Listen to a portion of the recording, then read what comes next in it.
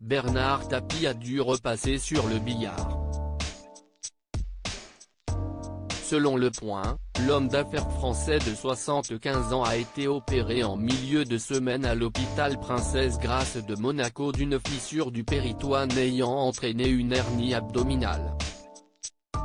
Il s'agit d'une intervention bénigne qui cesse de dérouler sans complications, assure le site de l'hebdomadaire. Pour preuve, les médecins monégasques l'ont déjà autorisé à retourner chez lui, Bernard Tapie est rentré hier, jeudi 2 août 2018, dans sa propriété de Saint-Tropez où il reçoit les soins post-opératoires. Son hospitalisation n'aura ainsi duré que 48 heures. Cette intervention survient sept mois après celle pratiquée en janvier à l'hôpital Saint-Louis à Paris par l'équipe du professeur Sarfati.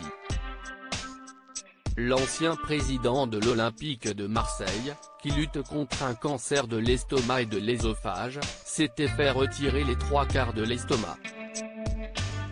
Depuis, l'ancien ministre de la ville de François Mitterrand se bat courageusement contre la maladie, enchaîne les chimiothérapies tout en continuant de mener une vie aussi plus normale que possible. La semaine dernière, Didier Deschamps, le sélectionneur de l'équipe de France championne du monde, lui a même rendu visite à Saint-Tropez. Le cancer, ça veut dire la mort, confiait en mars dernier Bénard Tapie dans une interview accordée au point. Entouré de sa femme Dominique, de ses enfants, de ses petits-enfants et même de son arrière-petit-fils, il peut compter sur leur soutien pour vaincre la maladie.